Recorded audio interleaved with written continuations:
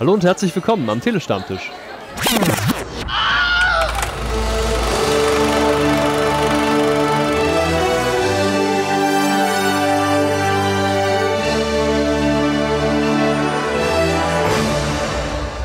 Hallo und herzlich willkommen zu einer nickelnagelneuen Folge des Telestammtisches. Ich bin endlich mal wieder dran, euer Sam. Ich freue mich, euch heute drei Filme präsentieren zu können. Unter anderem stellen nämlich Britt und Paul den Film Wall of Shadows vor. Hier in Deutschland erscheint er unter Die Wand der Schatten. Das ist ein Dokumentationsfilm von Elisa Kubarski. Um was es genau da geht, erklären euch diese zwei. Danach verzaubern euch Stu, Sven und meine Wenigkeit in Spare Parts. Das ist ein Horror-Action-Film und wie wir den fanden, das hört ihr in der goldenen Mitte. Und danach hört ihr eine Besprechung zu Dawn of the Dead, das Remake aus dem Jahr 2004 von Zack Snyder. Grund dafür ist der demnächst erscheinende Army of Dead. Wer den besprochen hat, das ist unser Snyders größter Fan, Werner, dann der Patrick und das Ganze wird geleitet von Thilo. So, und jetzt wünsche ich euch viel Spaß bei dieser Folge. Bis dann. Hallo und herzlich willkommen zur Besprechung des Films Wall of Shadows. Genau gesagt einer Dokumentation, die ich nicht alleine bespreche, sondern mit Brit. Hallo. Hallo. Ja, Wall of Shadows, das ist eine Dokumentation, die, ich zitiere mal Filmstarts, irgendwann demnächst erscheint. Die geht eine Stunde und 34 Minuten, ist von Eliza Kubarska. Und worum es geht, das verrät euch die Brit jetzt. Ja, es geht um eine äh, Sherpa-Familie. Sherpas sind die also nepalesischen Einwohner, die Bergsteigern helfen, Gepäck und Ausrüstung ähm, auf ihrer Tour den Berg hochzutragen. So kann man vielleicht zusammenfassen. Ja. Oh, ja. also falls man den Begriff Sherpa noch nicht gehört hat. Und also im Grunde, wenn man wirklich ganz fies ist, menschliche Lastenponys, oder? Also das muss man ja, ja wirklich so wie so Esel, sagen. ja, ja. Genau. Ja, und in der Regel sind das eben Einheimische, die auch da an diese Umgebung gewöhnt sind, auch natürlich an die dünnere Luft und so weiter. Das sind ja alles Dinge, die muss man ja bedenken, wenn man äh, sich da am Gebirge befindet.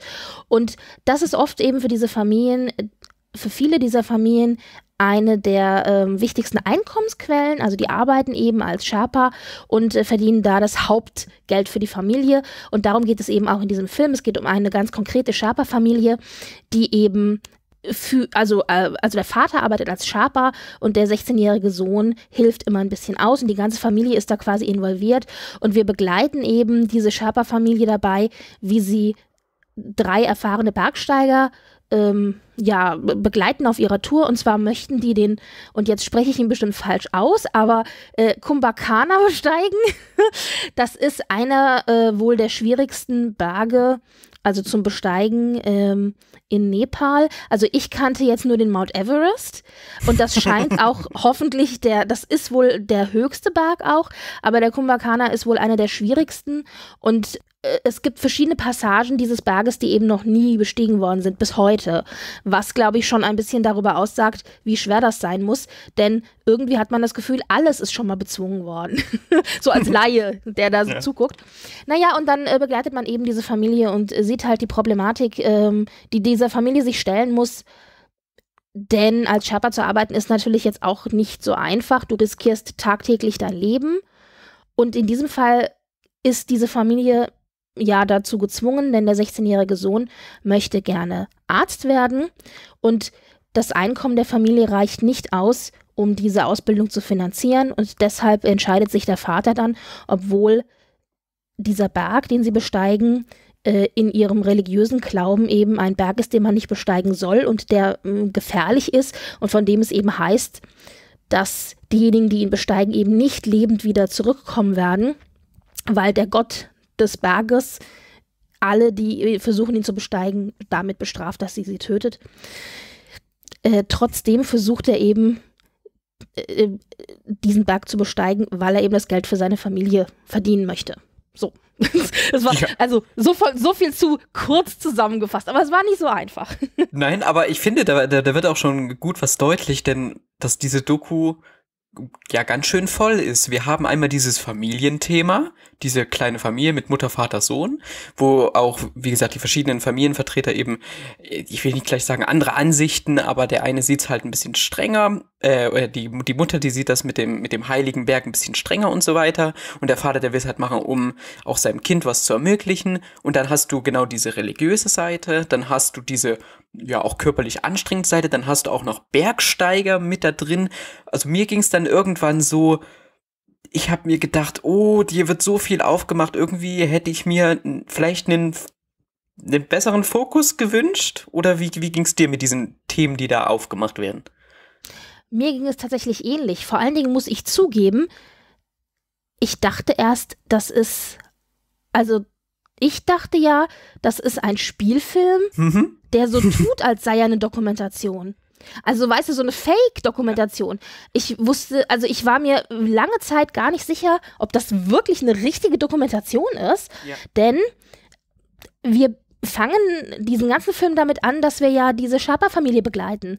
Und wenn ich höre The Wall of Shadows und dann gucke ich mir auch den Trailer an und so, ähm, dann habe ich hab die ganze Zeit gedacht, ja, das wird wieder einer von dieser Bergsteigern-Filmen, weißt du, so Mann gegen Natur und dann besteigen wir diesen Berg und so und so. Und das ist es ja nicht. Das ist ein kleiner Aspekt des Films, mhm. aber im Grunde geht es eben um diese, um diese Schaper-Familie, die versucht irgendwie, ja, zu überleben und Geld aufzutreiben und sich anzupassen. Also du hast da so viele Punkte drin, wie du schon sagst. Und dieses Bergbesteigen am Ende, das ist eben nur ein kleiner Punkt unter vielen, aber hauptsächlich geht es eben um diese Familie und wie sie sich in dieser Situation, ja, wie sie in dieser Situation, wie sie in dieser Situation zurechtkommt. Und ja, ich hatte das gleiche Problem im Grunde wie du, dass, dass ich dann am Ende irgendwie nicht mal so richtig wusste, worum es ging. Wobei man kann jetzt äh, darüber sich beschweren oder nicht.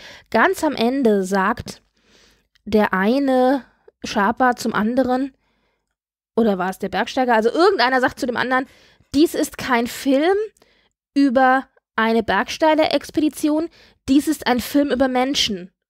Und da bin mhm. ich kurz aufgewacht und dachte, Moment, hat er eben die vierte Wand durchbrochen? Hat er eben gesagt, ist, mhm. weil ich dachte ja die ganze Zeit, das ist ein Spielfilm, weißt du? Und dann, und dann ich, so, ich so, Moment mal, oder ist es doch eine Dokumentation? Also da war ich dann ein bisschen verwirrt.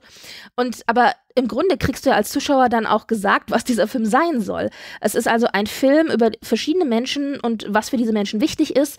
Und für die einen ist es eben das Berg besteigen und für die anderen ist es eben ja das äh, Überleben und der tägliche Überlebenskampf, kann man vielleicht sagen, um sich auch einen gewissen Lebensstandard zu ermöglichen, eben für diese Sherpas und Sherpa-Familien auch. Und ja, ich weiß nicht, mhm. ob man da so ein bisschen als Zuschauer, also mir hat es geholfen, weil ich eben das Problem wie du hatte, dass der Fokus nicht so wirklich auf einer stringenten Geschichte lag. Also deswegen fand ich diese Aussage ganz gut, weil damit mhm. konnte ich das so ein bisschen einordnen. Auf der anderen Seite würde ich mich, es gibt bestimmt auch Leute, die sich als Zuschauer gegängelt fühlen und die dann sagen, muss man mir das denn so deutlich auf die Nase binden? Also ich finde, man musste. ich weiß nicht, wie dir das, wie, wie dir das ging. Also hast du die Szene, ist dir die aufgefallen, als du das geschaut hast? Äh, mir, mir, ist es jetzt nicht so krass. Also ich war mir die ganze Zeit darüber bewusst, dass es eine Dokumentation ist. du hast vielleicht die Vorinfo gelesen. nee, aber ich war tatsächlich auch, ich habe auch erst den Trailer angeguckt und musste tatsächlich dann nochmal nachschauen. Ist das wirklich eine Dokumentation? Weil es sieht auch von so von, von Einstellungen, wie man mit, wenn die Sonne zwischen den Bergen hervorsteht, das sah schon alles, keine Ahnung. Also es hätte auch wirklich so ein, so ein Spielfilm sein können, der da eben äh, in Nepal in den Bergen spielt.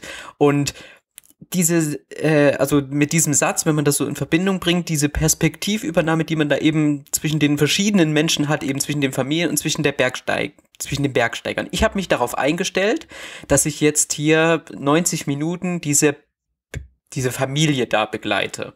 Weil es, es auch immer hieß, jetzt sind, sind sie in diesem Konflikt, können sie diesen heiligen Berg denn besteigen oder so, also würden sie das für ihren Sohn machen und so weiter und so weiter. Und dann gibt's aber irgendwie nach einer Stunde oder nach einer Dreiviertelstunde so wie die Staffelstabübergabe und dann ist es auf einmal geht's um die Bergsteiger und dann äh, wohnt man den Gesprächen der Bergsteiger bei und so und das hat mich gestört, weil ich dann mir gedacht habe, ja, so Bergsteiger-Dinger, die habe ich jetzt vielleicht schon das ein oder andere Mal gesehen, aber sowas, also so die Lebensumstände äh, oder so eben aus der Sicht von dieser Familie, die sehe ich nicht so oft. Warum bleibst du nicht lieber dort? Ja, das hätte ich auch spannender gefunden. Äh, also ich sehe natürlich die Problematik, dass diese Sherpas natürlich abhängig sind auch von der Geschichte der Bergsteiger. Also je nachdem, ja. wie die sich entscheiden, also die müssen ihnen ja folgen und die müssen sich ja auch entscheiden, arbeite ich für sie weiter, also sprich, kletter ich weiter oder nicht. Also in dem Zusammenhang verstehe ich, dass man da ein bisschen den Fokus auf die Bergsteiger gelegt hat, weil ja eben diese Abhängigkeit da ist. Aber das war mir dann auch, wie du gesagt hast, zu viel. Also mir wäre es auch lieber gewesen, wir wären stringenter bei der Familie geblieben. Das hat, ähm, das hat am Ende dann wieder ein bisschen zurückgeschwenkt. Ähm, ich hatte so ein bisschen das Gefühl, der Regisseurin ist so nach zwei Dritteln eingefallen, ach und übrigens, es sollte ja eigentlich ein Bergsteigerfilm werden. also da müssen wir uns vielleicht noch mal ein bisschen den Bergsteigern widmen. Ja, da geht's ja auch dann ja. zwischen, also um Konflikte zwischen denen. Also die jetzt eben im ersten Moment dann gar nichts auch mit der Familie oder so zu tun haben, sondern wirklich um Konflikte, die eben beim Bergsteigen auftreten. Ja. Wobei, das kann ich verstehen, also dass ich verstehe, warum das mit reingenommen wurde. Ja, ja. Hm. Also ich sehe das so. Ähm, es wird ja hier eine Parallele aufgemacht zwischen dem Leben der Sherpas, das ja wirklich so völlig ab ist von meiner eigenen Lebensrealität, und dem Leben, sagen wir jetzt, eines normalen westlich zivilisierten oder westlich, wie sagt man nicht, westlich, äh, der westlichen Zivilisation entsprechenden Bergsteigers, sagen wir mal so. Ja. Und dann haben wir ja den einen Bergsteiger, der am Ende sagt, ich denke, da kann man schon vorausgreifen. Es gibt einen Bergsteiger, der sagt, ihm ist es zu riskant, er möchte das nicht weiter, diese Besteigung nicht weiter fortführen. Und der hat vorher sich länger mit dem 16-jährigen Sohn des Sherpa Hauptführers, äh, äh, Hauptanführers da unterhalten und hat von seiner eigenen Tochter erzählt, die mhm. auch 16 ist. Und da sagen, da sagt er ja noch zu dem, zu dem Sohn, ja, äh, sagt er so, also der 16-Jährige sagt ja dann noch so, ja, ja, genauso alt wie ich. Und dann äh, sagt eben dieser Bergsteiger, ja, ja, genau genauso alt wie du. Und dieser Satz allein hat schon gereicht, dass ich gedacht mhm. habe, ja, aber Welten auseinander, also wirklich mhm, Welten, ja. also überhaupt nicht vergleichbar. Und dann hat er ja ein Foto seiner Tochter gezeigt und hat gesagt, ja, sie liebt Haribo, weil sie hatte so eine Haribo-Tüte in der Hand. und ich habe mir nur so gedacht, wahrscheinlich wird er sich jetzt gerade fragen, was zum Teufel ist Haribo? also vielleicht kennt er es ja auch, aber auf jeden Fall war das, war das wirklich mit, mit diesem Satz und dieser Szene wurde halt dieser ganz konkrete äh, Unterschied gezeigt, dieser, dieser Lebens Unterschied. Und als dann am Ende eben diese Szene mit den Bergsteigern waren, wo dann eben der Bergsteiger mit der Tochter gesagt hat, ich kann das nicht riskieren, ich habe eine Familie, ich habe Kinder, dann war das genau die gleiche Situation wie der Sharper Vater dieses 16-jährigen Jungen, der im Grunde genau das gleiche, genau die gleichen Sätze noch zuvor zu seiner Frau gesagt hat, bevor die hochgestiegen sind auf den Berg, nämlich er hat gesagt, ja, ich habe Familie und ich habe Kinder und aber wenn mein Kind das studieren will, dann müssen wir das machen. Und mhm. genau die gleichen Sätze hat er auch zu seinen Kollegen gesagt, den anderen Sherpas, dass er gesagt hat, ich will da eigentlich nicht hoch, aber wir müssen das jetzt machen, auch wenn ich Familie habe und Kinder und so weiter. Und dann sagt ja dann sein Chef im Grunde, ja, aber wenn du nicht steigst, nicht, nicht hochsteigst den Berg, wenn du nicht kletterst, dann kriegst du auch kein Geld. Ganz einfach. So, so einfach ist das. Und das finde ich so interessant. Also ich glaube, deswegen ist die Szene drinne gelassen worden, weil du halt hier im Grunde dreimal den gleichen Dialog hast und damit deutlich machst, dass obwohl diese Person wahnsinnig viel trennt, auch im Grunde ganz viel ähnlich ist, wenn wir es auf die menschliche Ebene runterbrechen. Mhm. Also ich glaube, deswegen ist das drinne geblieben. Ja, gut, unter dem Gesichtspunkt, da, da, da kann ich mich mit anfreunden. Das stimmt schon, ja. Ja, aber es ist natürlich, du hast schon recht, es ist ein bisschen, äh, ein bisschen, äh, es hätte fokussierter sein müssen. Was mir sehr gut gefallen hat, also es gab ein paar Aspekte, die ich sehr gut fand. Ich fand, wie gesagt, die Perspektive sehr gut, dass wir eben auch am Anfang recht viel einfach nur die Familie hatten. Ähm, und deren Perspektive, was mir auch sehr gut gefallen hat, ich meine, optisch ist das natürlich ein Wahnsinnsfilm. Oh ja. Wahnsinn. Was also du hast. War, ja. Ja, bitte, bitte, bitte. Ja, also wirklich, ich musste gerade wieder an den Titel gehen, Wall of Shadows. Also du hast wirklich, du hast eine Szene, wo halt wirklich dieser Berg wie eine Wand dasteht oder wie, wie eine Schneewand und dann siehst du dort einen ganz kleinen Menschen und du hörst, das finde ich so großartig, du hörst, die ganze Szenerie ist ganz still oder vielleicht so ein bisschen Wind und du hörst nur, wie dieser kleine Mensch da in diesem an dieser Schneewand einfach so ganz schwer atmet. Und das fand ich wirklich eine beeindruckende Szenerie, dann noch mit diesen Wolken im Hintergrund. Also der sah wirklich fantastisch aus. Ja, überhaupt der ganze, die ganze Optik ist natürlich Wahnsinn. Ich finde auch, dass diese Optik mehr eine Filmoptik hatte. Also es wird zum Teil mhm. auch mit Farben gespielt und so weiter. Du hast natürlich spektakuläre Bergwelten und Bergaufnahmen an sich, aber es hat ein, es, ein sehr viel filmischeres Gefühl oder Kino, Kinofilmgefühl als jetzt, sagen wir mal, ein Dokumentarfilmgefühl. Das hat mir schon gefallen. Das hat auch damit zu tun, dass ich ein bisschen zwischendurch dachte, wie gesagt, es ist kein Dokumentarfilm. also rein für die Optik allein lässt sich der Film schon anschauen. Ich bin so ein bisschen hin und her gerissen. Ich jammer ja immer, dass viele Filme zu lange sind. Und der war auch 94 Minuten lang. Das ist eigentlich für einen Dokumentarfilm nicht lange. Hm. Aber ich fand es am Anfang ein bisschen zäh. Mhm. Also so zwischendrin dachte ich mir auch so, so können wir jetzt bitte mal zu Potte kommen. Also ich habe die ganze Zeit darauf gewartet, dass sie endlich diesen Berg besteigen. Und es hat ja ewig lang gedauert, bis diese ganze Bergbesteigungsgeschichte angerollt ist. Aber natürlich auch, weil ich die Erwartung hatte, dass es eben so ein Bergsteigerfilm wird. Und ja, das okay. war es ja nicht. Ja. Also ja, das hing das, natürlich mit der Erwartung zusammen. Ja, richtig. Und ich habe nämlich, ich hatte das nicht erwartet. Also ich hatte jetzt keinen Bergsteigerfilm erwartet, sondern ich hatte eigentlich mehr von der Familie noch erwartet und eben mehr diesen Konflikt. Ich meine, klar, der, der Titel lässt sich schon da darauf hindeuten quasi. Was du jetzt als äh, zäh und so hatte ich auch so das ein bisschen das Empfinden. Das kann, können andere, glaube ich, auch schon so fast meditativ. Also du hast dann auch so, die Musik, sie ist mir gar nicht richtig in Erinnerung geblieben, aber ich hatte manchmal den Eindruck, die ist so, ähm, ja, also es ist fast wie so, als guckst du so einen Entspannungsfilm, also zu Beginn. Es wird dann ein bisschen, äh, wenn es ums Bergsteigen geht, wird es dann ein bisschen, äh, wird das Ganze ein bisschen aufgefahren, aber zu Beginn hat es schon fast so eine, ja, meditative Ruhe oder so eine Klangreise. Du hörst die, die Glocken der, der Kühe, die sie umhaben oder so.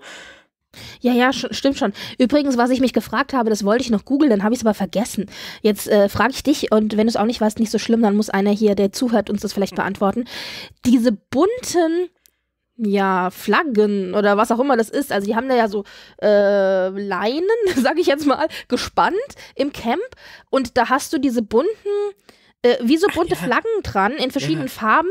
Ich dachte erst, das sind Gebets, so eine Art Gebetstücher. Aber jetzt bin ich am überlegen, ob die das vielleicht aufspannen, um zu gucken, wie der Wind weht. Also weißt du, wenn die hochsteigen im ja, Berg, ja, ja. Wofür, wofür sind die da? Weißt du das? Ich habe keine Ahnung, nein. okay. Ich war mir zwischendurch, ich dachte erst, das sind Ge so Ge Gebetstücher und dann mhm. dachte ich, na, vielleicht sind es nur Windmesser das, oder vielleicht sind es auch einfach nur irgendwelche Trenndinger, so nach dem Motto, hier sind eure Zelte, da sind unsere Zelte. also ich frage, so mich, ich frage mich, wofür, so genau, Winde. ich frage mich, wofür die da sind. okay, dann äh, muss, muss ich es vielleicht doch nochmal googeln. Ja, gut. Dann würde ich sagen, können wir auch schon zu einem kleinen Fazit kommen. Genau. Ja, dann hau mal raus. hm. 3,5. Ah. okay, ich bin bei 3 von 5. Okay, ich war am überlegen, also 4 ist mir ein bisschen zu viel, weil die mhm. Story ist mir nicht stringent genug und das könnte ein bisschen mehr Dynamik äh, vertragen, aber die, für die, allein für die Bilder hat ja. den halben Punkt mehr gekriegt. Mm, ja, das stimmt. Ähm, also vielleicht mit anderen Erwartungen reingehen oder mal in den Trailer reinschauen. Ansonsten gibt es diesen Film demnächst irgendwo zu sehen. Ich möchte noch eine Sache nachtragen, ja. äh, wenn, ich, wenn ich darf. Und zwar habe ich noch mal geschaut, der 16-jährige Sohn, der ja gerne Medizin studieren möchte, also nachdem ich dann verstanden habe, das ist kein Dokumentar, das ist ein Dokumentarfilm, äh, habe ich mir gedacht, so, was ist aus dem jetzt geworden? Und dann habe ich mal gegoogelt und äh, ich finde, das können wir auch schon jetzt nachtragen, das ist kein Spoiler. Da gab es dann eine Spendenaktion, die ähm, die Regisseurin und äh, auch der Verleih in, äh, ins Leben gerufen haben. Und die haben 20.000 Euro gesammelt. Die ging bis Januar 2021. Ich habe auch geguckt, ich hatte auch einen Fünfer reingeschmissen, aber es ging nicht mehr. Ach, wie praktisch. und und äh, sie wollten wohl ursprünglich mal 50.000 Euro zusammen, äh, 50.000 mhm. Dollar zusammensammeln, weil das die Summe wohl ist, die man braucht, um zu studieren, ähm, wenn man ein Stipendium hat. Also eigentlich ist es wohl doppelt so viel. Und haben das jetzt aber runter reduziert auf 20.000, weil sie das Problem hatten, dass er jetzt Covid kam. Also die hatten sich halt erhofft, wenn der Film in den Kinos läuft, dass dann vielleicht auch viel mehr Leute das mitbekommen. Und da das ja jetzt aber nicht der Fall war, äh, haben sie es quasi reduziert, aber haben die 20.000 zusammenbekommen und das hat jetzt eben der 16-jährige äh, Junge bekommen und äh, wird dann hoffentlich in Zukunft ein Medizinstudium mhm. machen können. Also das vielleicht noch als positives Ziel am Ende. Sehr schön mit diesem Fakt entlassen wir jetzt unsere Zuhörerinnen und Zuhörer in die nächste Besprechung oder vielleicht zur nächsten Ausgabe des Telestammtischs. Ich danke dir, Britt. Ich danke Ja, euch, liebe gern. Zuhörerinnen und Zuhörer. Und ich sage bis zum nächsten Mal hier beim Telestammtisch. Tschüss. Tschüss. Hallo, willkommen beim Telestammtisch zur Besprechung des Films Spare Parts. Dieser erscheint am 8., nein Quatsch, am 3. Juni 2021 in Deutschland auf Blu-ray und DVD von Tiberius Film. Und angesehen habe ich ihn mir mit meinen liebsten Kollegen aus dem Ausland, nämlich einmal aus der Pfalz, der Sven, hallo Sven, Hallo. und einmal aus dem wunderschönen Schwabenländle, der Sam, hallo Sam. Servus. Ja, ihr Lieben, wir stehen vor, ich will nicht sagen ein Problem, aber wir müssen hier etwas klarstellen. Und zwar, der Film kommt zwar am 3. Juni nach Deutschland fürs Heimkino heraus, aber er wird nur in einer 1,5 Minuten gekürzten Fassung in Deutschland erscheinen. Der ist nämlich an der FSK gescheitert. Wir haben den Film freundlicherweise vorab als Screener bekommen. Und wir wissen jetzt nicht, ob wir die Uncut-Fassung gesehen haben oder halt eben die gekürzte. Ich würde von meinem Teil ausgehen, dass es die Uncut-Fassung war. Ja, Zumindest, wenn ich die Zeiten vergleiche, die die IMDb sagt, ne, okay, also Uncut-Fassung. Gut, das heißt, wir haben die ganze Blutgrütze sehen können. Ja, wir sind die Privilegierten. Juhe. Wenn euch der Film interessiert, sei auch erwähnt, dass er uncut aber in Österreich erscheint. Das heißt, dann könnt ihr den gerne importieren. Worum geht es in Spare Parts? Ich kürze das mal alles ganz grob ab. Es geht um eine weibliche Punkband, die auf dem Weg zum nächsten Konzert einen Platten hat und Hilfe bekommt von einem Sheriff, der sie zu einem Schrottplatz fährt. Auf diesem Schrottplatz werden die Damen dann aber betäubt und als sie erwachen, wurde ihnen eine Hand entfernt und statt einer Hand haben sie jetzt Äxte, Messer etc. dort be befestigt und sie sollen in einer Arena kämpfen bis zum Tod, denn dieser Schrottplatz ist nicht einfach nur ein Schrottplatz, das ist so ein richtig kleines Königreich. Habt ihr sonst noch irgendwas zur Handlung beizutragen oder sagt ihr, das war soweit alles richtig? Ne, das ist genau auf den Punkt gebracht. Also kann man nicht weiter ausführen.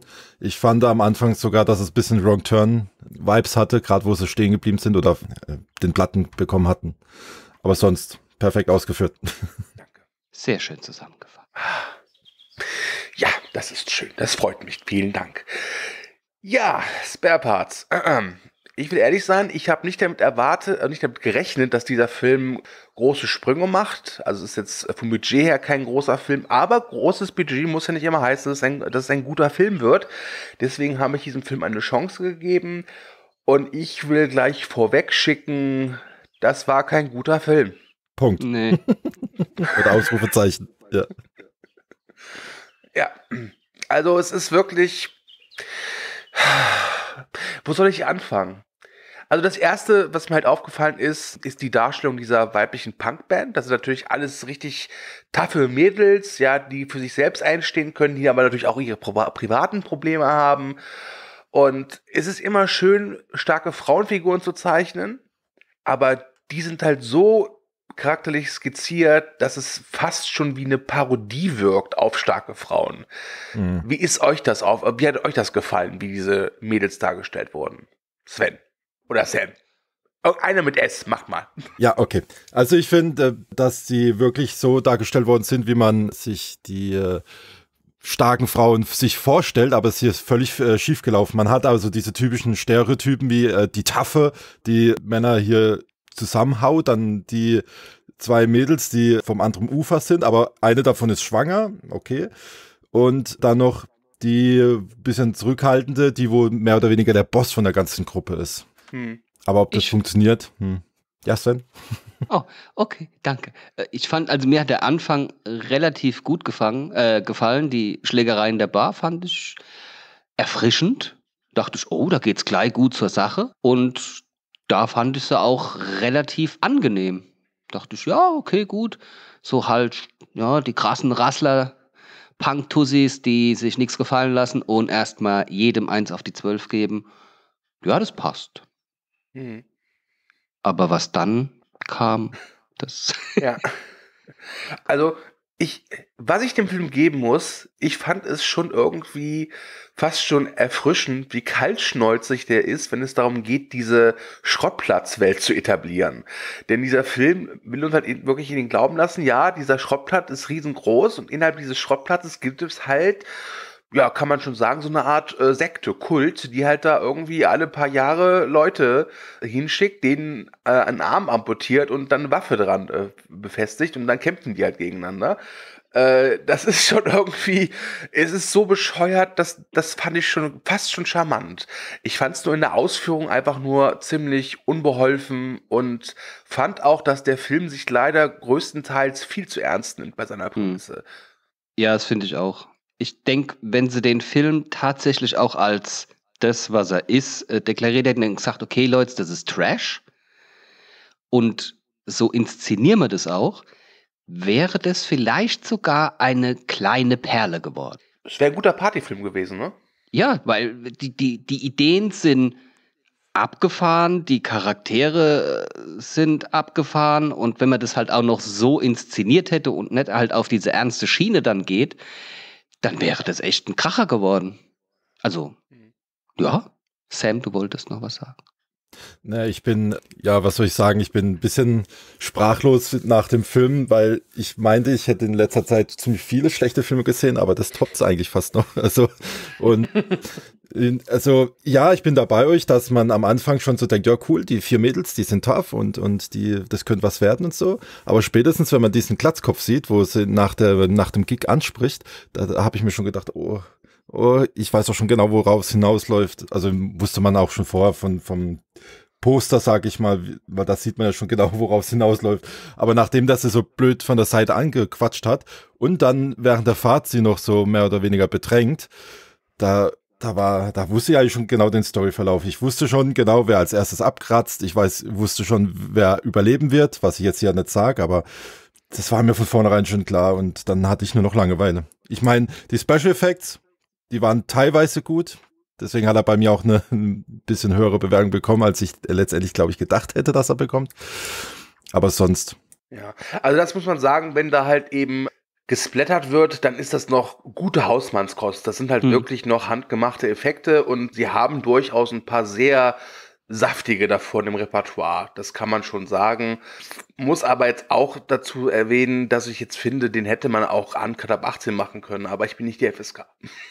noch nicht. Noch nicht. Noch nicht.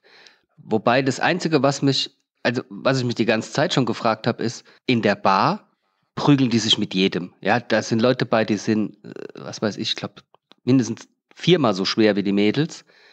Aber dann lassen sie sich von zum Popel-Sheriff, d- d- Vin Diesel für Arme, da einfach abfrühstücken, anstatt zu sagen, ey, wir sind zu viert, alles klar, jetzt gibt's gleich nochmal auf die Fresse. Und das, ja, und das passt einfach überhaupt nicht. Ja, Von den richtig. Dialogen, das- die der Trollkönig geschrieben hat, mal ab. Ja. Mhm. Da habe ich noch eine Frage an euch. Ist euch aufgefallen, dass Kano von Mortal Kombat da auch mitgespielt hat? Äh, äh, Der, der Ja, bisschen ja. dicklichere, wo die Mädels trainiert hat. Der sah für mich aus wie Kano für Arme. Okay, nee, ist mir, ist mir nicht aufgefallen. Was ich noch sagen möchte über den Film, was ich wirklich ganz, ganz schlimm fand, das war für mich, glaube ich, das Schlimmste am ganzen Film, ist, dass der ja auch so eine Seifernoper-Komponente hat. Wenn halt dieser, wie Sven jetzt sagte, Vin Diesel für Arme so sich seinen Liebling aussucht und diese umschmeichelt und sie beschenkt äh, in, in diesem komischen Königreich. Und, und dazu muss man auch sagen, wir haben ihn nur in Deutsch sehen können. Und die Synchro ist halt echt nicht besonders gut. Dass gerade halt eben Dialoge, die ernst gemeint sind, halt wirklich rüberkommen wie eine richtig billige Seifenoper. Und das war echt schlimm, fand ich. Das, das war langweilig, das hat unglaublich viel Zeit eingenommen. Der Film ist mit 91 Minuten auch noch relativ kurz eigentlich. Und es war teilweise unfreiwillig komisch. Also diese, diese ganzen Elemente von wegen, ja, guck mal, sie mag dich gar nicht oder guck mal hier, die wird besser behandelt als du.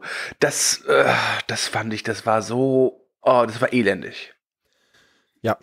Ich finde auch die, die ersten Waffen, die sie dran geschraubt bekommen, waren bei manchen Kämpfen, hat man richtig gesehen, dass die so, weiß ich, aus ganz weichem Plastik oder so sind, weil die so rumgeschwappt haben. Da habe ich mir auch gedacht, das hätten man vielleicht anders einfangen können oder anders äh, von einem anderen Blickwinkel oder so drehen können, damit das nicht so wirkt, als wäre das Plastik, was die da gerade auf dem Arm haben. Ja, das, stimmt, ja. Wohl. Das siehst du wirklich ganz oft, dass das Gummimesser oder sonst was. Also, du merkst auch schon, wenn sie es dran schrauben, das ist, da hätten sie wenigstens ein anderes Geräusch dafür nehmen sollen. Weil das, du hörst das, das, das ist wirklich so Plastikkrams. Aber ich meine, gut, die, die Effekte, also zumindest die Splatter, was ja auch schon gesagt wurde, sieht halt schon ganz ordentlich aus. Ich meine, da musst du halt abwägen, ja. Richtig, aber ich, man kann es ja nicht nur auf Splatter-Effekte verlassen weißt du? Doch. Man kann ja nicht sagen, komm, wir schreiben ein, naja, Drehbuch, wir konstruieren darum so eine kleine Liebesgeschichte mit dem Bösewicht, aber die Splatter-Effekte, die sind geil. Richtig. Hier, ne? oh, ja. Also ich glaube, wie, da komme ich jetzt zum Anfang des Casts zurück. Ich glaube halt wirklich, wenn die sich nicht so ernst, selbst etwas, wenn sie sich selber nicht so ernst genommen hätten, den ganzen Film, ja, und ein paar Sachen einfach weggelassen hätten oder etwas entschlackt hätten, wäre das immer, immer noch kein guter Film, aber zumindest ein Film, der Spaß machen würde. So muss ich jetzt für mich sagen, das war ein schlechter Film. Es war jetzt kein schlechter Film, über den ich mich jetzt aufregen kann. Dafür war er mir dann doch zu äh, egal. Aber ich kann auch nicht sagen, dass die 90 Minuten wie im Flug vergangen sind. Ne? Es, es war echt, ja, Arbeit. ja, ja, richtig. Der hat in der Mitte halt auch krass Leerlauf. Also, ja, in der Mitte kommt dann dieser, dieser Seitenpart so heraus. Ja, ja, ja, kämpft. Ich will Kampf. Ja. Aber. Sollen wir sie jetzt kämpfen lassen oder noch ein bisschen mehr Dramaturgie reinbringen? Ah, ich glaube, Dramaturgie ist jetzt gerade gut. Nein, ist es nicht. nee. Ist es nicht. Nee. Ja. Habt ihr noch irgendwas, was ihr zu Spare Parts loswerden wollt? Weil ansonsten würde ich jetzt zum Fazit übergehen. Ich würde auch sagen, wir, wir haben jetzt seine Einzelteile zerlegt. Ich würde auch zum Fazit kommen. Ja, ich hätte noch eins anzumerken. Ja, bitte. Der einzige, der mir, äh, naja gut, man kann nicht sagen, naja, gefallen, aber ich war froh, endlich mal wieder Julian äh, Rikings zu sehen, den ich in so Sachen eigentlich immer ganz, ganz gern hab, weil er immer freaky aussieht und immer böse ist, außer, naja gut, bei Supernatural jetzt vielleicht nicht so ganz, aber da spielt er den Tod, falls die Leute wissen genau, wen mhm. ich meine. Und hier, ja, ich sehe den als mal ganz gern. Er ist jetzt zwar, wie Ach. gesagt, keine Ikone, aber. Gibst zu, du wärst gern der, du wärst gern ihn gewesen in der Badewanne. Wer? Naja, er in der Badewanne. Ach so. Ja, da hast du wieder genau hingeguckt, ne? Beim Sexkram. ja, beim, beim Splatter-Teiler da weggeguckt, aber Sex geil da bin, da ist Sam am Start. Wobei es ja auch wieder interessant ist, ist, dass die Gewalt äh, vollumfänglich gezeigt wird, aber immer dann, wenn Sexualität ins Spiel mm. kommt, dann wird meistens immer nur abgeblendet oder ist, man sieht halt nicht alles, ne? Das ist, naja, gut. Darum soll es jetzt nicht mehr gehen. Ich würde sagen, wir kommen zum Fazit. Welche Punkte vergeben wir denn? Naja, Ersatzteile. Okay, finde ich Spare gut. Parts. gut. Sam, dann mach du mal gleich einen Anfang und vergib 0 bis 5 Ersatzteile. Oh Gott. Oh je. Also ich habe ja mich schon so durchklingen lassen, dass ich so überhaupt nicht begeistert war von dem Film und das Einzige, was ich dem bewerten kann, waren die vier Mädels am Anfang. Das gibt einen halben Punkt. Und dann die Splatter-Effekte noch ein halber Punkt. Also ich bin bei einem Ersatzteil. Fertig. Das okay. war mein. Okay. Sven. Äh, ich gebe 0,5. Ja, ja, ich war, ja, der, der Film hat bis auf äh, die Splatter-Effekte und Davon gibt es ja schon ein paar, aber der Rest ist halt einfach total Banane. Dialoge furchtbar, dann die Schauspielkurs aus dem Aldi oder gar keinen oder egal, Hauptsache Geld, das gibt's auch. ich, weiß nicht, wie es im Original ist. Ah, nee, nee, nee, nee, 0,5, das, nee. Weiter komme ich nicht. Okay, gut. Ich würde ein Ersatzteil von 5 geben, wie ich jetzt schon, glaube ich, mehrfach gesagt habe. Da steckt schon ein guter Partyfilm drin, aber dafür nimmt sich der Film zu ernst, hat zu viel Leerlauf und deswegen auch von mir keine Empfehlung.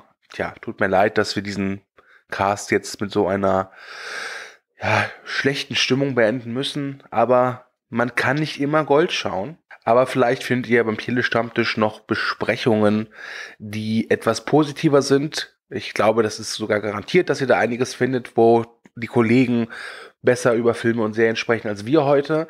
Trotz allem war es das von unserer Seite. Es war mir eine große Freude. Bitte denkt dran, ihr könnt äh, Telestammtisch bei Spotify auch folgen und auch bei Apple Podcast und dort auch eine Bewertung da lassen. Das würde uns freuen. Warum? Weil wir es verdient haben. Ich sage Tschüss und dann darf der Pfälzer und der Schwaber auch noch Tschüss sagen. Tschüss. Ciao. Hallo, liebe Filmfreunde und liebe Telestammtischhörer. Hier ist Thilo, der alte Schwede aus München und heute möchte ich mit euch einen, ja, fast schon modernen Klassiker besprechen. Es geht natürlich wieder um einen Zombie-Film. Ihr wisst ja ähm, vielleicht schon, dass ich so äh, einer der größten Zombie-Fans überhaupt bin und da geht es um einen wirklich Meilenstein des Genres. Es geht um das Dawn of the Dead Remake von äh, Zack Snyder aus dem Jahr 2004 und äh, da habe ich mir Verstärkung geholt, und zwar den Patrick. Hi. Und den Werner. Grüße euch. Moin, moin. Ja, Zack Snyder's Dawn of the Dead. Ähm, der Werner hat sich schon geoutet als großer Zack Snyder-Fan. Kannst du mir mal erzählen, warum? Ich mag einfach äh, seine Art von Film, den Stil, den er immer einsetzt, gerade was zum Beispiel die Optik angeht oder eben auch wenn es äh, um Zeitlupe geht, die Inszenierung, Action und so etwas. Da hat er einfach ein richtig gutes Händchen für. War ja auch ein bisschen stilbildend, kann man schon sagen. genau, Filmen. richtig. Ja. Äh, Patrick, wie stehst du zu Zack Snyder? Ich mag viele seiner Sachen, aber ich mag die auch nicht unvoreingenommen. Manchmal hat er sich ein bisschen verhoben. Kann man auch gern in den Snyder-Casts, die wir gemacht haben, nachhören. Ich mag an ihm aber, dass er auch ein ziemlicher Comic-Fan ist, der dann teilweise auch auf Außenstehende scheißt und das Ganze wirklich zu Fanfilmen macht. Mhm. Okay, warum äh, nehmen wir uns jetzt einen etwas älteren Film zur Brust? Das hat einen äh, Grund und zwar kommt ja von Zack Snyder demnächst äh, dieses Army of the Dead raus, das er ja zusammen mit, oh, jetzt wird's hart, mit Matthias Schweighöfer produziert äh, beziehungsweise ja äh, kreiert hat. Und da sind wir auch mal sehr gespannt, was das äh, für ein Machwerk wird, denn Zack Snyder und Matthias Schweighöfer, ich weiß nicht, passt das zusammen? Was sagst du, Werner? Ich kann es mir nur schwer vorstellen, aber ich, ich habe schon Verrückteres auf dieser Welt gesehen. Das ist wohl wahr. Aber ähm, okay, also ich äh, schaue ein bisschen mit äh, spannender Erwartung und ein bisschen auch mit Grausen dem entgegen. Äh, aber mal sehen, vielleicht wird's ja auch was. Aber wir äh, schauen jetzt mal zurück auf äh, Zack Snyders äh, ja, Zombie-Machwerk von 2004. Es ist ja ein Pseudo-Remake, würde ich mal sagen, von Dawn of the Dead, dem ultimativen Zombie-Kracher von 1978 von George A. Romero. Und da stellt sich bei mir ja auch immer die Frage, warum braucht es da ein Remake? Warum muss man einen fast perfekten Film eigentlich nochmal äh, remaken? Da gibt's ja oft so Geschichten wie, keine Ahnung, warum muss man ein Remake vom Der Flug des Phönix machen? Warum muss man ein Remake von Nightmare on Elm Street machen? Ja, und äh, natürlich ist es, um die Jugendlichen ins Kino zu locken, weil die so alte Schinken ja gar nicht mehr anschauen. Und insofern war, glaube ich, die gesamte Fangemeinde und Zuschauerschaft, die eben auch dieses Originalwerk kennen und lieben, sehr, sehr skeptisch eingestellt. Und dann kam der 2004 eben in die Kinos. Und was muss man sagen? Ähm, ich beziehungsweise auch viele meiner Freunde und äh, viele äh, der Fans, wie man im Internet liest, waren tatsächlich weggeblasen, denn der Film war einfach richtig, richtig gut. Oder was meint ihr? Ich bin ja eigentlich so gar kein Zombie- oder Horror-Fan. Das ist eigentlich gar nicht mein Gebiet, weil es mich größtenteils eigentlich nur langweilt. Aber auch ich Hui. muss sagen. Oh, oh, oh, oh. Tut mir leid, nicht, bitte schlag mich nicht. Ist ja okay, jeder darf seine Meinung haben hier. Nee, also auf jeden Fall, wie gesagt, es ist eigentlich gar nicht so mein Gebiet, aber auch ich muss sagen, dass der Film richtig gut gemacht ist. Also er ist spannend und bietet alles, was man von so einem Film eigentlich erwartet. Okay, wir wollen mal kurz abreißen, worum geht's denn in dem Film? Ähm, Patrick, magst du mal kurz eine Synopsis geben? Es geht darum, dass plötzlich die ganze Bevölkerung von dem Zombie-Virus heimgesucht wird und unsere Haupt Protagonistin, Anna, gespielt von Sarah Pauli, flüchtet gerade noch so vor ihren zombifizierten Ehemann und schließt sich dann mit einer anderen Gruppe Überlebende zusammen, die sich dann sehr schnell in einem Kaufhaus verschanzen. Diesen netten Zwischenstopp äh, beim Militär, den das Original hatte, erspart man sich hier komplett. Es geht sehr, sehr schnell ins Kaufhaus und auch da recht schnell ums Überleben. Ja, und äh, das ist eigentlich auch so ziemlich das Einzige, was das, dieses äh, Remake, äh, möchte ich es mal in Anführungszeichen nennen, mit dem Original zu tun hat. Eben ist es dieses äh, Einkaufszentrum, deswegen das Original auch gerne Zombies im Kaufhaus genannt, am Schulhof damals. Äh, aber insofern ähm, hat der Film mit dem Original jetzt nicht wirklich viel zu tun. Es ist eigentlich alles relativ neu gemacht. Die Handlung ist relativ neu, die Charaktere sind neu. Es ist nicht so ein plattes Remake, es ist eigentlich ein eigenständiger Film, der wirklich nur so ein bisschen das Thema mit diesem Kaufhaus drin hat als äh, Refugium für die Überlebenden. Und ansonsten gab es ja noch einen großen, großen Unterschied zum Original. Und das hat tatsächlich in der Fangemeinde eine Grundsatzdiskussion ausgelöst, denn in diesem Film gibt es im Gegensatz zum Original plötzlich rennende Zombies statt den schlurfenden, langsamen Zombies, die man früher kannte, eben von George A. Romero. Und da gab es teilweise einen Riesenaufschrei in der Community, das kannst du doch nicht machen, das ist ja äh, Frevel. Da haben sich auch Leute wie Simon Peck eingeschalten, die Puristen sind und sagen, nur die schlurfenden Zombies sind die wahren. Und deswegen äh, bin zum Beispiel ich mit sehr großer Skepsis in diesen Film gegangen und wurde dann aber positiv überrascht. Ähm, seid ihr irgendwie Anhänger der schlurfenden oder der schnellen Zombies? Oder äh, Werner, du bist ja gar nicht so Zombie-Fan, aber welche würdest du äh, bevorzugen? Also wenn dann bitte auf Speed. Okay. Patrick? Ähm, mittlerweile bin ich da beide Versionen gewöhnt. Also die schnellen Zombies sind die, die noch nicht so sehr verwest sind. Und die langsamen, da siehst du halt wirklich schon den Zerfall. Das hat auch Walking Dead, die Serie, irgendwann schön bebildert. So erkläre ich mir das. Die schnellen, aggressiven Zombies haben gerade jetzt hier bei diesem Romero Remake was richtig schön bedrohliches. Von daher, ich bin da so zwischen den Stühlen. Ich mag beides. Okay. Je nach Atmosphäre sollte man da abwägen, welchen Zombie man da nimmt. Das Interessante hierbei ist ja, dass diese Diskussion bis heute nicht abgeebbt ist. Also es wird immer noch diskutiert, schnelle Zombies, langsame Zombies. Was ist denn jetzt das Wahre? Richtig. Das, diese Diskussion ist bis heute nicht zu Ende. Nein, das stimmt. Und ich bin immer noch der Meinung, es gibt äh, inzwischen leider viel zu viele äh, diese neuartigen Zombie-Filme, die sind leider oft dann mit den schnellen ähm, gesegnet, sage ich mal. Ähm, ich bin immer noch gesegnet. Fan von den langsam schlurfenden, die sind für mich viel bedrohlicher und mehr creepy und irgendwie, ja, es war halt durch, sagen wir mal, 28 Days Later, das war der Film, der diese Zombie-Welle auch so ein bisschen in eine neue Ebene gebracht hat, obwohl es der da eher um Infizierte geht. Da muss man auch unterscheiden. Sind es jetzt Untote oder Infizierte? Bei 28 Days Later geht es ja eigentlich nur um Infizierte, die ja noch leben. Und äh, bei Dawn of the Dead äh, sind es ja tatsächlich reanimierte äh, Tote. Und äh, ich, ja, wie gesagt, ich konnte mit den rennenden Zombies nicht so viel anfangen. Die wurden ja auch schon in den 80er Jahren eingeführt bei Return of the Living Dead. Das haben ja viele auch schon wieder vergessen, als die gehirnfressenden Zombies eingeführt wurden. Äh, da haben sie mich eigentlich auch nicht gestört, weil es eine völlig andere Ebene war.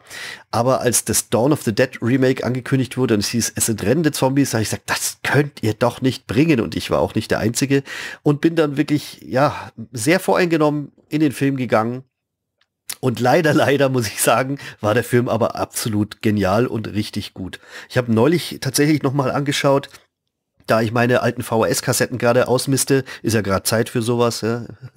Und äh, da habe ich den tatsächlich bin ich noch mal hängen geblieben, äh, als ich die Kassette äh, reingelegt habe und äh, habe mir noch mal angeschaut und gemerkt, wie gut der Film eigentlich ist, weil ich finde, Zack Snyder macht das einfach sehr sehr gut der hat eine wahnsinnig, äh, eine, eine, eine stringente Regie. Es ist äh, sehr geradlinig.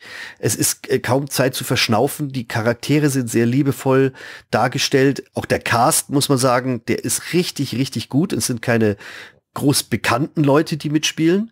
Also mittlerweile sind ein paar schon bekannter. Also Ty Burrell hat durch Modern Family schon einen ziemlichen Bekanntheits Grad erlangt. Das ist richtig. Also, aber auch das kam dann nachher, dass zum Beispiel auch äh, Leute wie der äh, CJ, der zuerst der voll böse äh, Security-Typ ist, von Michael Kelly gespielt, der dann als Stamper bei House of Cards auch nochmal richtig große, gute Rolle gekriegt hat.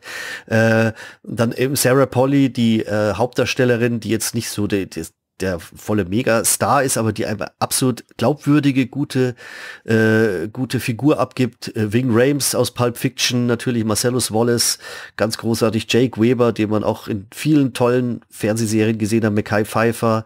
Also ist, der, der Cast ist einfach richtig gut, auch wenn es jetzt nicht so die Superstars sind, ja. aber äh, die tragen den Film halt auch unglaublich gut.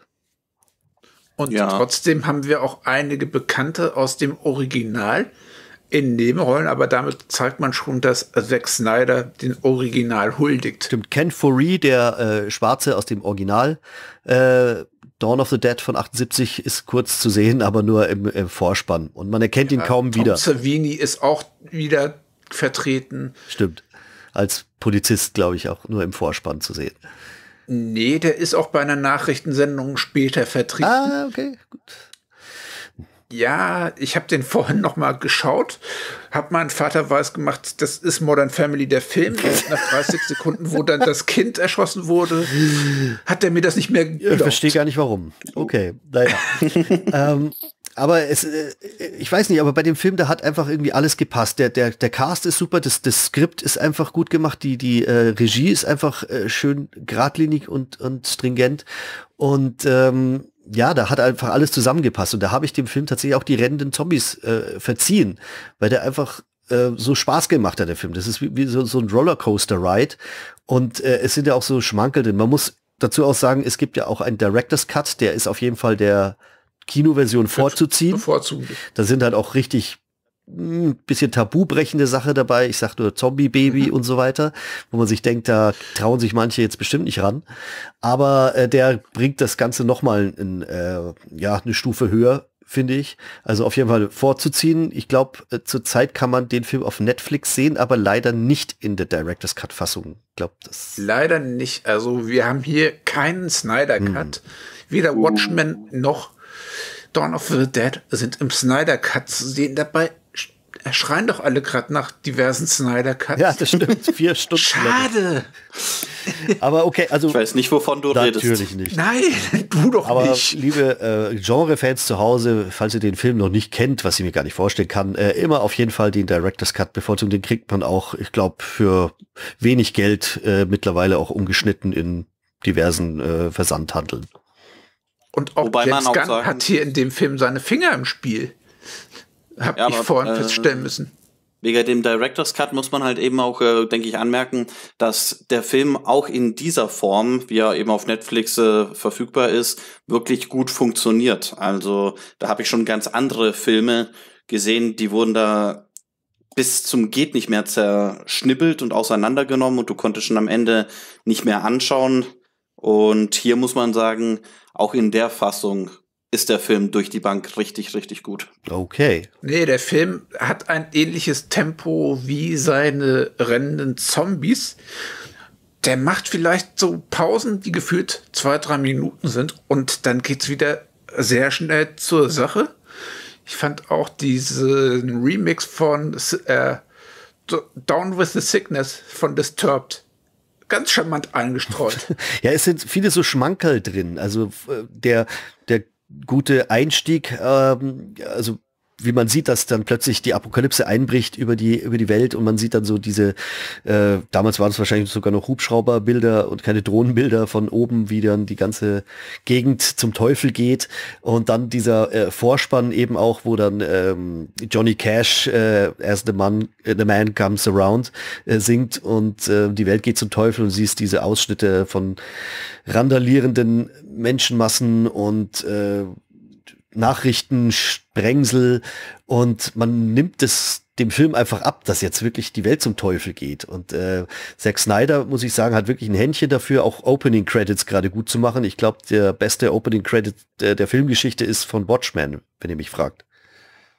Oh ja, das ist mit einer der besten Montagen, die gedreht wurden. Da hat man einfach so äh, mindestens 30, 40 Seiten Comic-Geschichte in ein nettes zehnminütiges Intro verpackt, das auch Außenstehende die Watchmen bzw. die Minutemen näher bringt. Ja, genau. Fand ich klasse. Und auch die Musikuntermalung ja, ist hier wieder mal ziemlich geil. Was sagt denn Werner, unser Zack Snyder-Fanboy, dazu?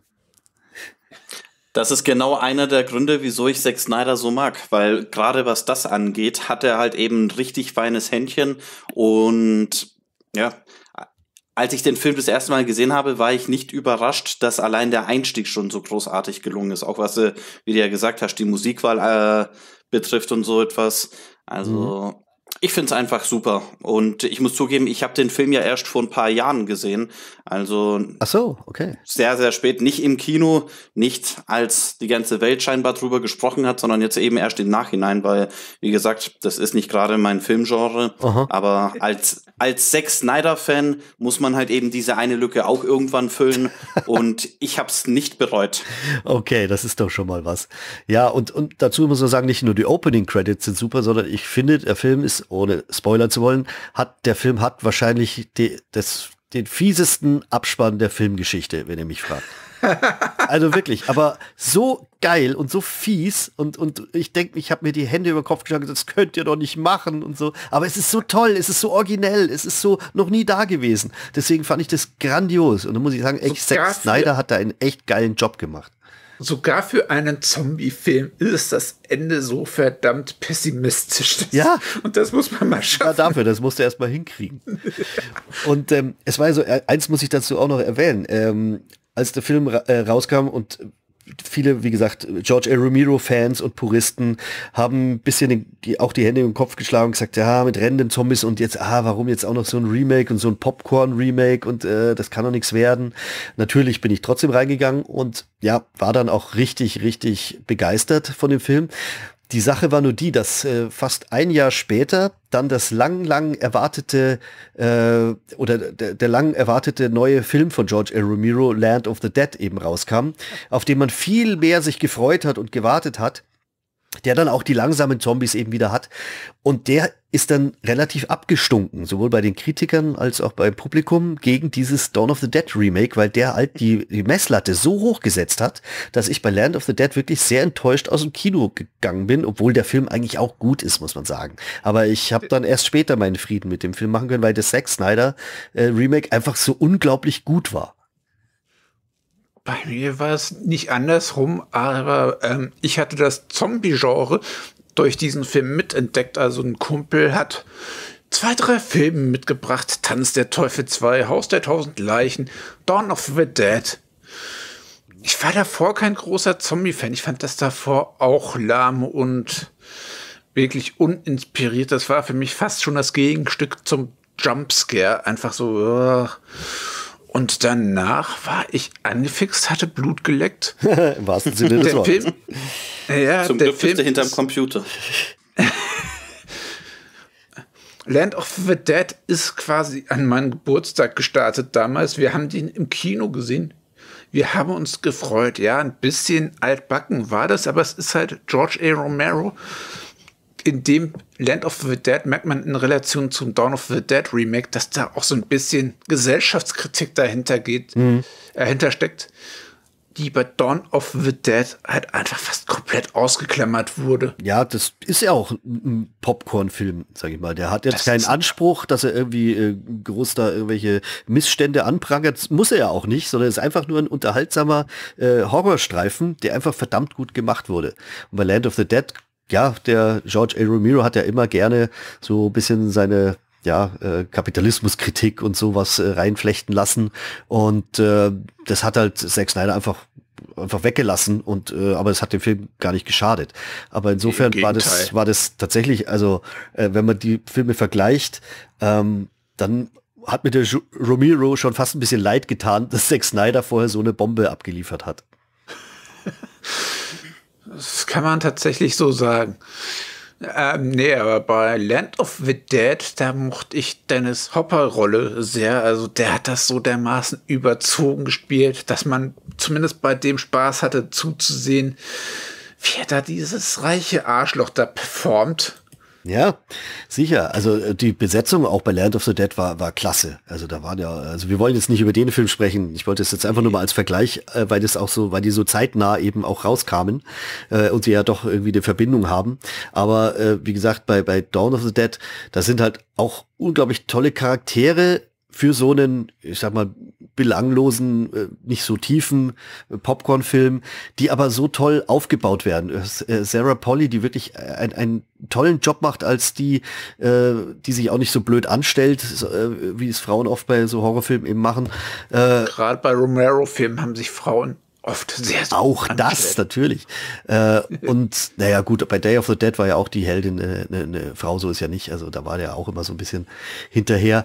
Aber ähm, wenn man sich die ganzen äh, Leute anschaut, da hast du eben diesen, diesen CJ, diesen Security Guy, der erst der the Guy you love to hate ist und am Ende wandelt der sich tatsächlich zu einem guten Typen, den man auch gerne haben kann. Und das musste er auch erstmal schaffen. Also diese Besetzung, die ist wirklich von vorne bis hinten auch richtig stimmig. Und es ist was, was den Film natürlich auch äh, wahnsinnig äh, höher bringt. Weil wenn du jetzt irgendwelche so Laiendarsteller hast aus irgendeiner Soap, die hätten den Film dann auch nicht stemmen können.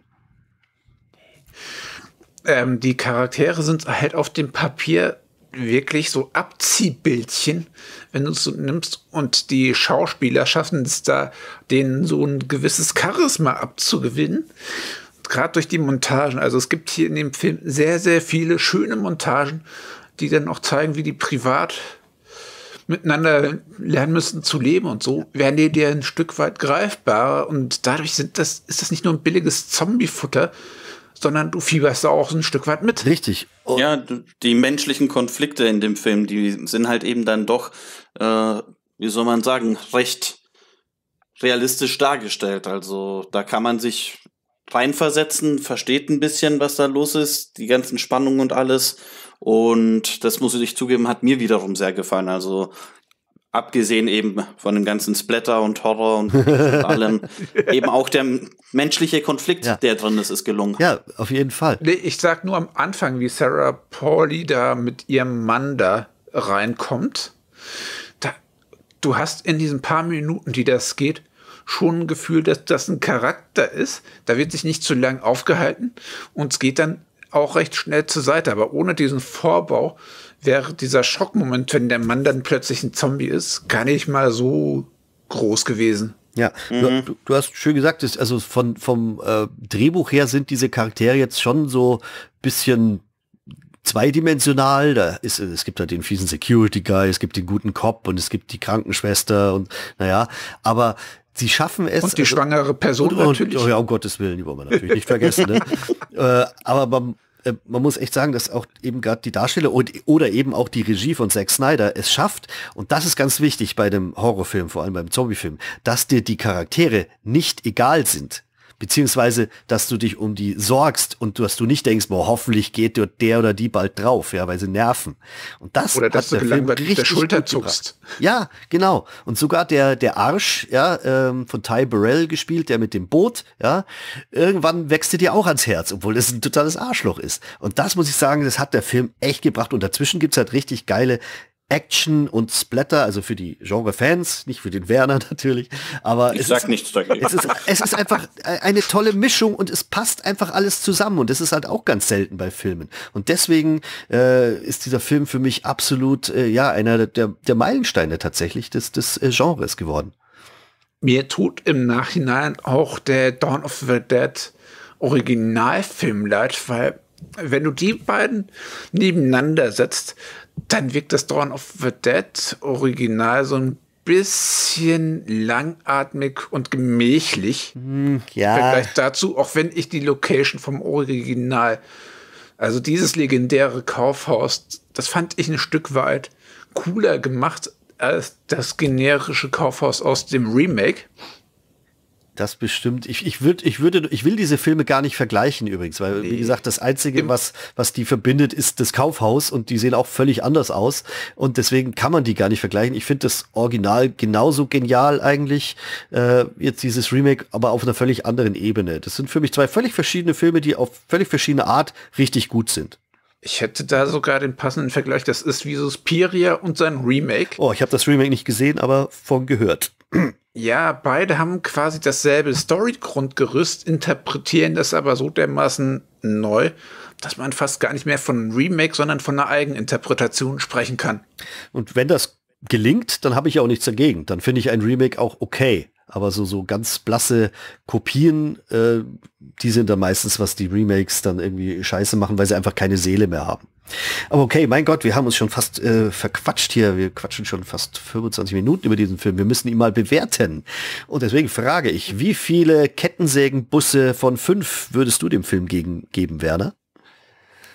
Also ich würde den Film vier von fünf Kettensägenwegen geben.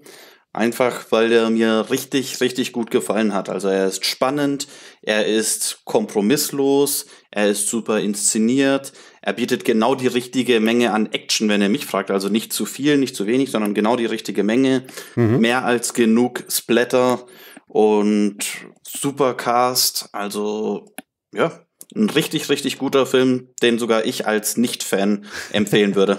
Wunderbar. Und den, den, Soundtrack auch nicht vergessen, der auch wirklich, äh, wirklich sehr gut ja, ist. Ja, die Musik, genau. Patrick. Ja, ich mag den Film auch sehr. Ich finde sogar lustig, dass hier noch nicht so dieser typische Snyder-Move, diese vielen Slow-Motions hier zu tragen kommen. Du hast hier eigentlich gar keine Slow-Motion. So wie bei 300. Und, ja, oder bei Watchmen oder bei Justice League. Nee, und trotzdem fühlt er sich an wie ein Zack Snyder-Film. Das war also für mich der Start, dass ich mich für Zombie-Filme interessiert habe, dass ich mich für Zack Snyders Filme interessiert habe. Also ich schwanke zwischen vier und fünf Punkte. Ich würde sagen, einfach wegen dem, was der Film in mir ausgelöst hat, gebe ich mal die volle Punktzahl und sage, es ist für mich so ein All-Time-Favorite, den gucke ich immer wieder gern, wird mir nicht langweilig. Okay, du kannst aber auch viereinhalb. Die Mischung geben. stimmt halt. So ist, Was? Du kannst ja auch viereinhalb geben, so ist ja. Ja, dann gebe ich viereinhalb. okay. Die Mische stimmt. Na, das also, ist halt wirklich eine sehr gute Mischung. Na schön. Äh, da bin ich auch dabei. Ich gebe dem Film auch viereinhalb von fünf und den halben Punkt ziehe ich ihm nur ab, weil es rennende Zombies sind. Sonst hätte er für mich auch voll die volle Punktzahl bekommen. Na schön. Okay, aber dann sind wir auf jeden Fall d'accord, dass das ein richtig gutes äh, Werk ist, äh, was vor allem für Genrefans natürlich ähm, nicht nur ein Blick wert ist, sondern eigentlich äh, absolute, äh, absolute Pflicht. Und äh, damit würde ich sagen, bedanke ich mich bei euch beiden und würde sagen, bis zum nächsten Mal. Also ciao. Bis dann. Bis dann. Ciao, ciao. Sehr geehrte Damen und Herren, wertes Publikum, liebe Hörende, vielen Dank für eure Aufmerksamkeit und Zeit. Ich hoffe sehr, euch hat gefallen, was ihr gerade gehört habt. Wir, die Redaktion des Telestammtisch, betreiben ein semi-professionelles Podcast-Projekt zum Selbstmitmachen. Also meldet euch bei uns, wir beißen auf. Außerdem freuen wir uns immer über Feedback via Social Media und E-Mail sowie euren finanziellen Support. Ebenso frohlocken wir förmlich über Bewertungen auf den gängigen Podcast-Plattformen. Wer möchte, darf uns gern immer und überall empfehlen. Alle relevanten Links findet ihr in den Show Notes. Vielen Dank und bis zum nächsten Mal. Euer Andi.